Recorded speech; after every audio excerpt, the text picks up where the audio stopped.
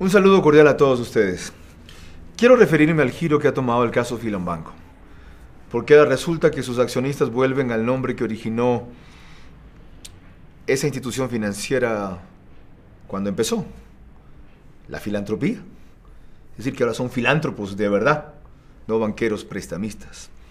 Porque su abogado asegura que los señores Isaías no quieren discutir, que lo que quieren es pagar lo que diga el Estado. Y lo que diga el Estado, por supuesto, eh, es mucho menor que lo que se deba cobrar e incluye, según admitió el propio abogado, deudas hasta el 2001, cuando los señores entregaron el banco el 2008.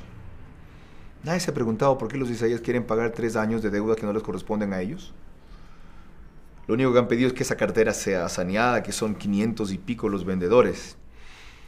Nadie se ha preguntado esa cartera saneada cómo fue antes adulterada cuando estuvieron en manos de gente vinculadas a ellos, que son los liquidadores y de una jueza inescrupulosa que se apropió de ese aparato, todos los elementos magnéticos que permitían borrar a unos y suplantar a otros. Nadie se ha preguntado por qué hay un memo de una miembro de la junta bancaria a una de las liquidadoras o a la liquidadora reciente, diciéndole lo importante es que justifiquemos por qué no hay constancia o respaldo de algunos deudores, es decir, porque desapareció esa constancia o respaldo. Nadie. ¿Ya? Como en efecto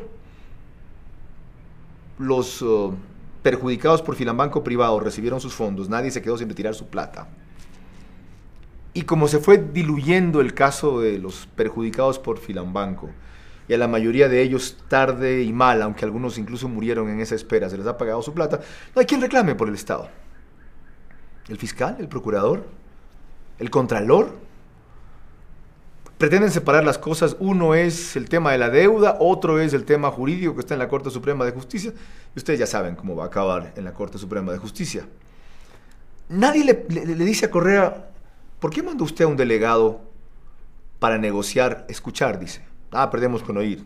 Negociar con los señores de Isaías, siendo familiar suyo en, Miami, Pedro Delgado, que era quien mandaba una serie de recomendaciones antes por vía de correos electrónicos sobre ese tema justamente a la Superintendencia de Bancos hace apenas dos años y medio, tres. Y no está tan malo que haya mandado a un familiar a negociar asuntos del Estado, cuando no es un funcionario público ni de una delegación pública, sino que no cuente lo que negoció, que no cuente lo que hablaron. Que no traiga el presidente, el señor Delgado, y este es mi pariente que fue allá, cuéntele al país qué habló, qué escuchó por lo menos, si es que no habló nada. Miren, miren señores, yo en el filambanco no toco vela en ese entierro. Nunca me perjudicaron a mí los señores de Isaías. Yo tenía plata guardada allí cuando los cerraron. Trabajé como es público tres veces con ellos antes de ese escándalo por el cual tuve que irme la cuarta vez. No digo para ellos, digo con ellos. Alguna vez me llamó una de ellos, sus cónyuges, diciendo que cómo me atrevo a morder la mano que me dio de comer. A mí me da de comer mi trabajo, no ningún empresario con el cual trabajé. Y las tres veces antes de la última cuarta en que me fui fueron siempre por discrepancias periodísticas. Siempre. Porque entré con condiciones de libertad, que luego fueron mermando y cuando se volvieron insoportables, ahí se acabó. En la última ocasión duré apenas un mes, no conocía el tema de Filambanco todavía, porque a propósito del caso del Banco de Préstamos me pidieron que deje de hablar del tema y no quise, porque descontinuaron una serie que estaba haciendo sobre la alcaldía de Febres Cordero, y porque Maguad negoció a través de Jaime Durán Barba con Roberto Isaías mi salida a cambio de 180 millones de dólares al Filambanco por préstamos de emergencia. El misógino de Durán Barba le dijo en Miami, palabras más, palabras menos, según pudo escuchar Gavilanes, era reportero en esa época nuestro, ¿cómo se llama? Se me fue el nombre en este rato de, Gavilanes, que trabaja ahora en, Canal 1, hace el noticiero de la noche, Marino, un hombre muy frontal que hace denuncias muy duras. Me voy a acordar, discúlpame que me haya olvidado. No podemos seguir eh, en este acuerdo si Vera todos los días reclama porque no se constituye el director del Banco Central. Se asegura que estamos estudiando el incremento del precio del gas. Si no llevamos un mes en el poder ya nos combate. ¿Ok? Ese fue el precio. Y yo desde noviembre del 98 sigo el tema Filambanco. ¿ya? Critico el tema Filambanco por la injusticia que está atrás, no por ninguna injusticia conmigo. Y yo lo seguí en Ecoavisa cuando entré, no por complacer a los señores de Alvarado, que también habían tomado esa bandera, sino porque coincidíamos en ese punto. Y lo sigo ahora, que no estoy en Ecoavisa. Aunque ellos no hagan cuestionamientos al abogado de los señores Isaías, que antes fue abogado de Ecoavisa en temas periodísticos. Un brillante articulista, además de la revista Vistazo, quien le ganó recién un juicio a Javier Neira y un hombre probo en sus causas jurídicas. Un gran defensor se han conseguido ciertamente los señores Isaías, pero no un infalible defensor. Y por muy amigos que seamos, eso no implica que yo deje de criticar las barbaridades que se pretenden seguir encubriendo en ese caso, diciendo que solo quieren pagar lo que el Estado diga. Ah, vamos a eso entonces.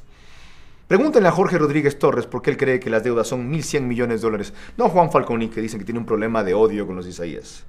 Pregúntenle a Alejandra Cantos por qué ella estimó en 2.000 millones de dólares lo que deben pagar los señores Isaías. No pregunten a eso, averigüen por qué la auditoría de la Deloitte Touch sacó 661 millones de dólares como deuda. Pregúntenle a Correa por qué se la rebajó hace pocos meses en una cadena nacional a 400, 450 millones, como si él tuviera esa facultad. Porque resulta que ahora solo son 200 o 250 lo que deben. Averigüen por qué empezaron diciendo Carlos Bravo y el gobierno que las empresas incautadas valían máximo 200 millones de dólares. ¿Por qué después valían 400? ¿Por qué ahora según ellos valen 800? Pero sobre todo lo más grave, ¿por qué han permitido que esas empresas se deprecien, manejándolas mal? Cuando se produjo la incautación, yo fui el primero que inmediatamente reaccionó apoyando la medida y advertí que en 60 días, como prometieron, debían subastarse y que ojo con el proceso de subasta y valoración. Cuidado, se las entregan a las mismas personas por vías indirectas. Nada de eso se dice. Ahora aparentemente solo es un estado de cruce de cuentas que los filántropos Isaías quieren pagarle al Estado ecuatoriano, aunque no sean sus deudas. Averigüen con esos préstamos de emergencia cuántos se hicieron a empresas fantasmas. ¿Cuántos se hicieron a empresas que solo eran membretes? ¿Cuántos se hicieron a empresas que eran de ellos vinculadas, de ellos encubiertas? ¿Cuántos fueron a siete años plazo sin ningún tipo de interés? ¿Quién? Nadie en este país. Quedamos pocos los que criticamos por principios. Otros se callaron cuando se les acabó la competencia. Lo que les interesaba era que los canales de Isaías no les hagan sombra ni les quiten clientes, ¿verdad? A mí no. Yo antes, ahora y después, hasta equivocadamente, pero sigo creyendo en que hay que combatir las cosas por justicia, ganándome enemistades como las de esos señores, como las de sus familiares, y amigos, poniéndome en situación muy incómoda, inclusive con gente muy allegada a mí, costándome disputas familiares e incomodidades de seguridad personal, arriesgándome a un trompón en la esquina allá o un insulto de la, dama sentada con razón, porque es familiar de ellos en el restaurante de acá. Aunque ahora los inocentes seamos vistos como delincuentes en este país. Pues no estoy solo, habemos muchos. Y no pierdan de vista este caso, aunque se haya quedado en el olvido. Porque si no se ponen las cosas en su sitio, cualquier rato, cualquier rato, cualquier rato, se puede repetir. Es cuestión de saber esperar nomás en este país, según algunos atrocadores. Es cuestión de llevarse suficiente para con eso exilarte, tener un buen abogado defensor que te pague, sobornar a todos los jueces del mundo, callar a la policía, intimidar a ciertos periodistas, generar amnesia en otros canales y después, colorín colorado, este cuento se ha acabado. Con algunos no.